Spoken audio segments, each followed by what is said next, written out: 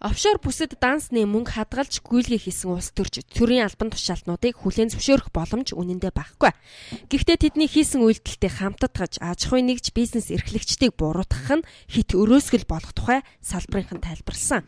Тэгвэл уян гишүүний тухайд аль альнийг нь хүлээн зөвшөөрч ойлгох боломжгүй гэж мэдээллээ. Улмаар хуулийн төсөл санаачилж офшор данстай иргэн аж ахуйн нэгжийг тухайн хөрөнгөийнхөө гарал үүслийг тайлагнаж мэдээлж байхыг шаардахаар хуулийн төсөл боловсруулжээ дугаар сарын 10 10 ерөнхийдөө бол хуулийн төсөл маань а 6 7 зүйлтэй 3 бүлэг 7 зүйлтэй ийм товчхон хуулийн төсөл боловсруулсан. Одоо энэ 7 хоног засгийн газар руу явуулнаа. За мэдээж энэ хуультай хууль хуультай холбоотойгоор давхар нэг хууль өргөн баригдах ёстой. Тэр бол сонгуулийн тухай хуульд орих нэмэлт өөрчлөлт.